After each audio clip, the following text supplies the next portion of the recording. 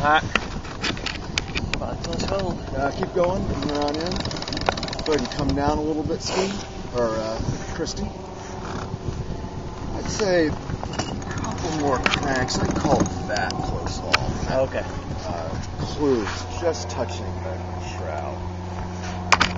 Nice. So Jeff, I'm looking at this main. Now that we've got some pretty decent wind, I would say that's too much twist.